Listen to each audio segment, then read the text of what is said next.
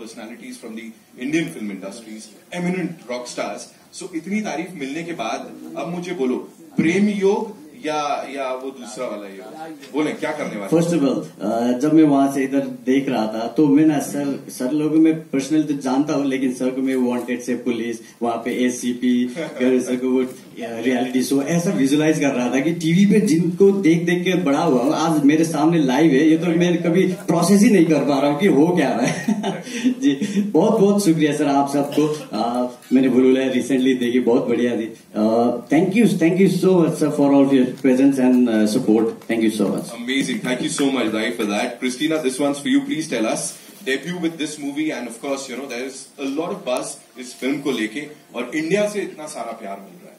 तो उसके ऊपर क्या बोलेंगे जी this is something unexpected for me कभी सोचा नहीं था कि ऐसा भी दिन आएगा। तो मेरे लिए ये बहुत ही ज़्यादा खुशी की बात है और मैं सुपर एक्साइटेड हूँ। तो प्रेम गीत वन और टू कितनी बार देखी थी इससे पहले आपने? मैंने बहुत बार देखी थी। गिनती तो पता नहीं भूल गई। So if if you were to review this trailer और अपनी परफॉर्मेंस की भाई क्या बोलना चाहोगे? What do you have to say on this अब यहाँ पे ये इंडियन मीडिया है। बड़े सारा प्यार मिलता है यहाँ से है ना? सो so, उनके सामने if you have to review this thing what would you say Uh, मुझे तो बहुत ही अच्छा लगा एज अ ऑडियंस भी।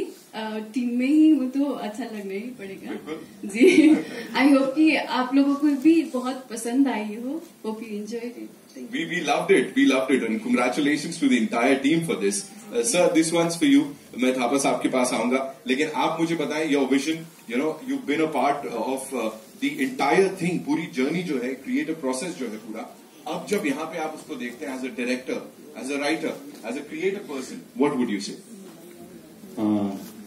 ये तो मैंने सोचा नहीं था। इधर ये मुंबई में ये बॉलीवुड में इंडिया में आके ऐसा होगा। लेकिन अभी मैं सोची कुछ सोच नहीं पा रहा हूँ। ऐसा हो रहा है। क्योंकि हमने वो नेपाल के लिए वो सोचा था कि हमने बहुत मेहनत की। क्योंकि इसको 120 से ज़्यादा हमने शूट किया है हिमालय में जाके। सो so, अभी इधर जब सुभाष सर के यहाँ हम आया वो स्टूडियो में जब काम शुरू किया पहले हमको मुरली तिलवानी सर ने हमको चांस दिया। उन्होंने वो पसंद किया फिर सुभाष सर के पास आए हम। उसके बाद अभी इधर आया। सो so, अभी तक जितना भी सपोर्ट मिला है बहुत साथ मिला है। अब हमने जो किया, जो मेहनत किया, वो हमने वो ऑडियंस के माथ दिया है। अब फ़िल्म सितंबर में जब फ़िल्म रिलीज़ होगा, तब हमने वो प्यार वेट कर रहे हैं। और मैं इतना ही कहना चाहूँगा, सर, जो कंटेंट है ना, इस समय वही सबसे ऊपर है, और यहाँ जो देखा हमने that is unbelievable so congratulation to the entire team एक चीज़ आपसे जानना चाहूँगा if if you were to talk about and your inspiration you know मैंने सुना है कि आपने जो ये किरदार प्ले किया, आप बचपन से यू नो क्या क्या देखते थे ऐसा? जो जो लगा कि यार ये बिल्कुल हीरोइक अंदाज जिसमें आपने अपने आप को प्रेजेंट किया है। बोलिए।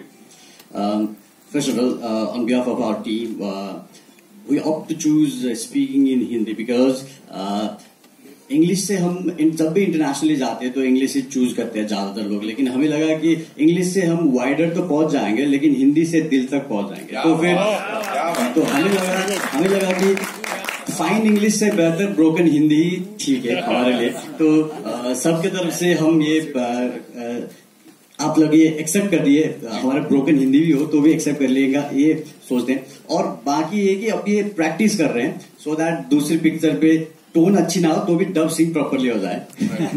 तो आपके क्वेश्चन थे ये जो bigger screen last and life चीज़ जो हमने अटेम्प्ट की है पोर्ट्रे करने की। तो ऐसा हो गया था। आ, मैं एक दो जगह पे मैंने भी बोला भी था कि अपना ये जो सोर्स ऑफ़ इंस्पिरेशन जो भी है जिस चीज़ से भी फ़िल्म में आने की चाहत हुई ना वो कहीं ना कहीं हिंदी सिनेमा से ही है।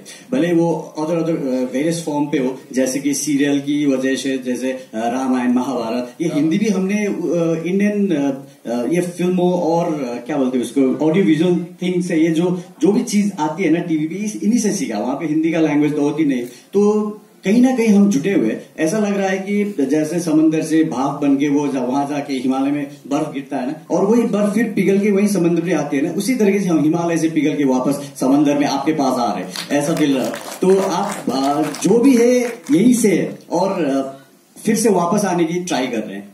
आपकी सपोर्ट चाहिए। थैंक यू आप ये बताओ सच सच बताओ।